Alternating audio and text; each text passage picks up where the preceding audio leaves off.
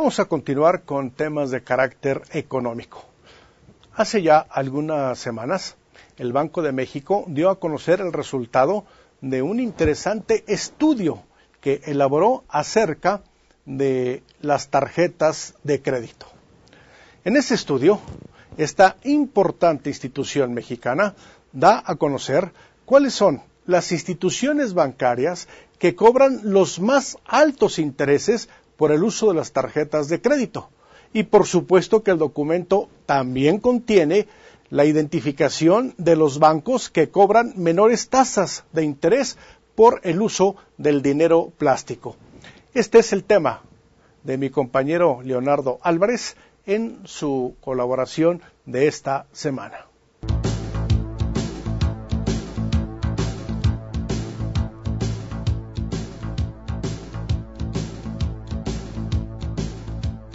Si usted cuenta con ingresos estables, además es disciplinado, responsable y cuida su dinero, sin duda puede utilizar una tarjeta de crédito. En cambio, si usted tiene deudas, no tiene el control de su presupuesto y además no tiene un ingreso estable, entonces lo mejor es sujetarse a su nivel de salario o use su tarjeta de débito.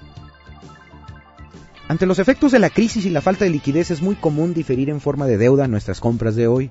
Sin duda, es muy cómodo firmar y dejar para luego el pago de los bienes y servicios, pero tenga mucho cuidado. El uso de las tarjetas de crédito se popularizó por la comodidad y estatus que implica comprar bienes sin tener que portar efectivo. Pero en el caso del crédito plástico, condiciona nuestro ingreso futuro con el consumo presente, a un costo determinado por una tasa de interés promedio más otros costos. En este sentido, el uso de tarjetas de crédito implica un costo adicional al precio de los productos que adquirimos y en la mayoría de los casos no estamos conscientes de ello. Entre los cargos adicionales a los que estamos expuestos aparecen conceptos como la cuota anual, los meses sin intereses, los recargos y los intereses moratorios. Para auxiliarnos a tomar una buena decisión sobre las tarjetas de crédito más accesibles, el Banco de México publicó un estudio comparativo de los intereses que la banca comercial cobra por el uso del dinero plástico. La herramienta es la tasa efectiva promedio ponderada y de acuerdo con esta medición se ubicaron tres categorías de tarjetas de crédito. 1. Los bancos más caros son Bancoppel y Comercial Mexicana, con un costo de 62.9% anual.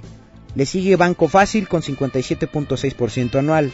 Estas instituciones, curiosamente, son muy populares entre las clases bajas de nuestra población y comúnmente se ubican entre las tarjetas que se extienden en tiendas de supermercados conjuntamente con un banco o de forma individual. Entre ellas también podemos clasificar a Soriana, a Gigante, Walmart, entre las más comunes. Número 2. Los bancos con precios intermedios. Aquí destaca HSBC, que cobra 36.7% anual, Banamex con 34.8% y Santander con 34%. En tercer lugar, los bancos más baratos, si se les puede llamar así. En este caso son ICSE Banco y Banca Afirme que cobran el 28.8% anual y BBVA Bancomer que cobra el 28.7%.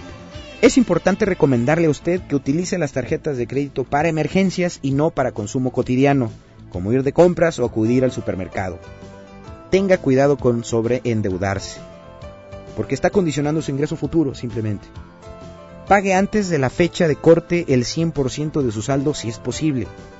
Y algo muy, muy importante, cierre el año sin deudas porque el paquete fiscal del año entrante amenaza con ser muy agresivo y los bancos no se harán esperar incrementando los costos de las tasas de interés. Cuide sus finanzas.